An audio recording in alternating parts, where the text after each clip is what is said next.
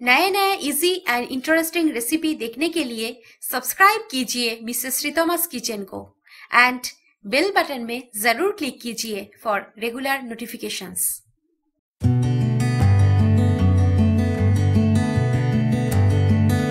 नमस्कार welcome to Mrs श्रीतोमस kitchen आज मैं बनाने जा रही हूँ एक बहुत ही पॉपुलर इंडियन रेसिपी उसका नाम है राजमा चावल और राजमा बिरयानी।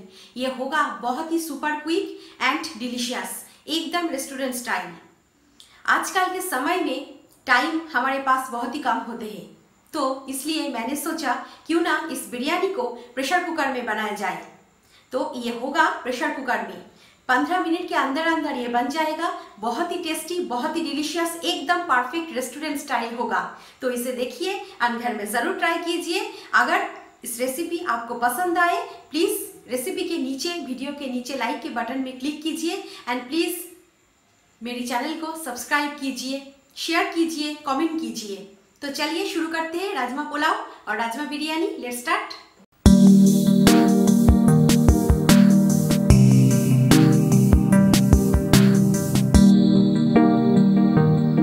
राजमा पुलाव और राजमा बिरयानी के लिए मैंने लिया है 250 ग्राम बासमती राइस इसको आधा घंटा पानी में मैं भिगो कर रखी थी, बाद में पानी इससे हटा लिया। आप 15 मिनट भी इसको भिगो कर रख सकते हैं। लिया है एक कप राजमा और रेड किडनी बीन्स इसको छह सात घंटा ओवरनाइट भिगो कर रखी थी एंड बाद में प्रेशर कुकर में चार सीटी इसको लगा लिया। आप देख सकते हैं राजमा एकदम बॉइल्ड राजमा है। लिया है दो प्याज कटे हुए, दो टमाटर कटे हुए थोड़े से लिया है, हरा धनिया, इसको बारीकी से काट कर लिया है, दो टेबलस्पून लिया है घिसा हुआ अदरक लहसुन, चार पाँच लिया है हरी मिर्च, इसको बीस से काट कर लिया है, दो लिया है तेजपत्ता, थोड़े से साबुत गरम मसाला, इसके साथ मैं थोड़े से जैतरी लिया है, एक टीस्पून लिया है जीरा, एक टीस्पून लिया है हल्दी पाउडर हाफ़ टी स्पून लिया है कश्मीरी रेड चिली पाउडर, मैंने लिया है एक टीस्पून शुगर इसको ना चाहे ना दे सकते हैं, लिया है एक टीस्पून और टू टेस्ट नमक लिया है एक टेबलस्पून राजमा मसाला। ये ऑप्शनल है। अगर आपके पास राजमा मसाला नहीं है तो आप इसके बदले में एक टीस्पून धनिया पाउडर एक टीस्पून जीरा powder and half teaspoon garam masala एक साथ मिला के इस राजमा बिरयानी में यूज़ कर सकते हैं।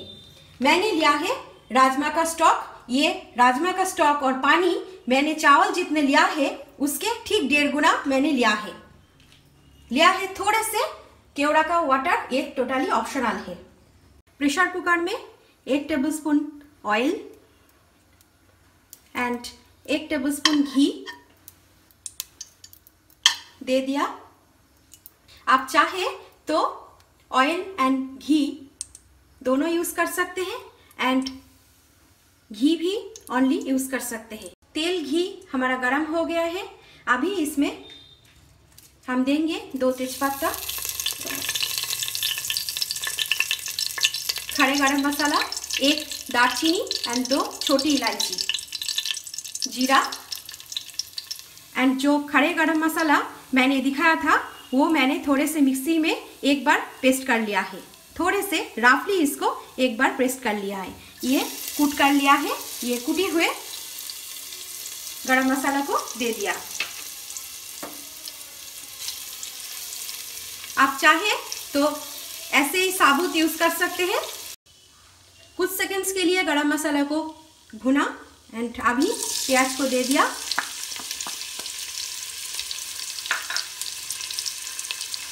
दे दिया हरी मिर्च को।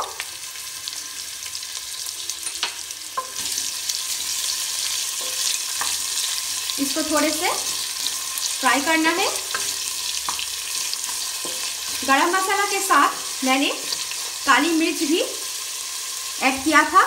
तो आप आठ दस काली मिर्च यूज़ करें। दो मिनट मैं प्याज को फ्राई कर लिया। आप देख सकते हैं प्याज के कलर थोड़े से चेंज हुआ है। अभी दे देती हूँ अदरक एंड लहसुन के पेस्ट। मिला लेती हूँ इसको। इसके साथ दे देती हूँ टमाटो को।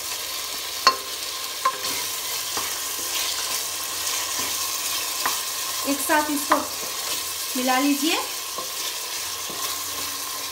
इसको दो तीन मिनट भूनना है एंड ढक्कन को आप दे दीजिए एंड ढक्कन देकर इसको भूने। तीन चार मिनट इसको मीडियम फ्लेम पे भूनने के बाद मैं इसमें ऐड करूँगी राजमा को। ये बॉईल किया हुआ राजमा, इसको मैंने ऐड कर लिया। अब इसको मिक्स करना है। राजमा को ऐड करने के बाद मैं इसमें हल्दी को दे दिया। Kashmiri red chilli powder. नमक। थोड़े से नमक पहले दिया था। राजमा बॉयल करते वक्त। तो इसलिए हिसाब से दीजिए। एंड मिर्ची के हिसाब आप आपके पसंद के अनुसार कर सकते हैं।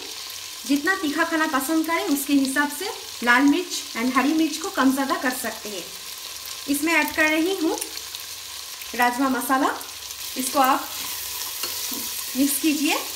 अच्छे से इसको मिलाना है। दो तीन मिनट के बाद मैं ढक्कन को खोलती हूँ। वाओ!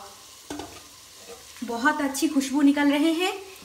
मैं आपको क्या बोलूँ, बहुत ही अच्छी खुशबू निकल रहे हैं। अभी इसमें मैं दे देती हूँ राइस को। ये पूरे राइस को इसमें ऐड कर दिया। एंड इसको मिक्स करना है।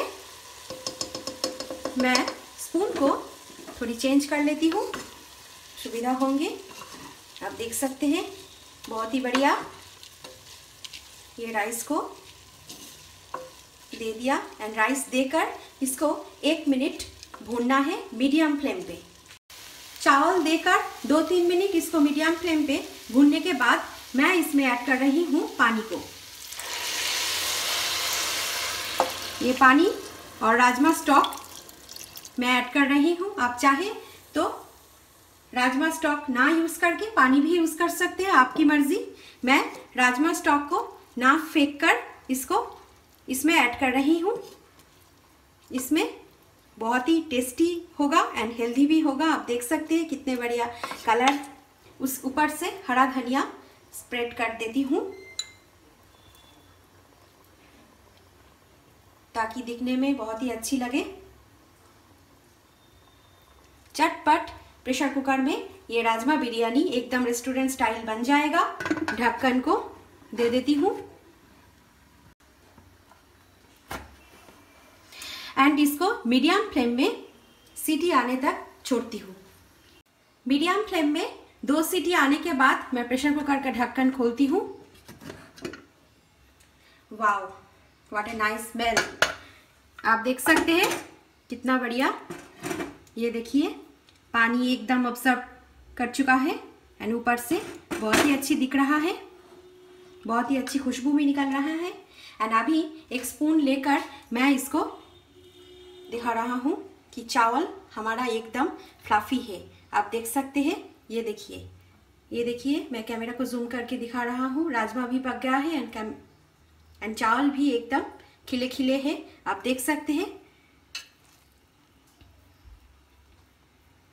हर तरफ़ से एकदम nice and perfect rajma biryani हमारा बन चुका है।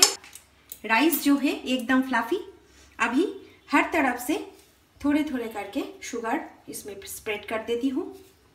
ये ऑप्शनल है, आप ना चाहे ना भी दे सकते हैं, पर थोड़े से शुगर हाफ़ टी स्पून देने से इसके जो टेस्ट के बैलेंस एकदम बहुत ही अच्छे होंगे।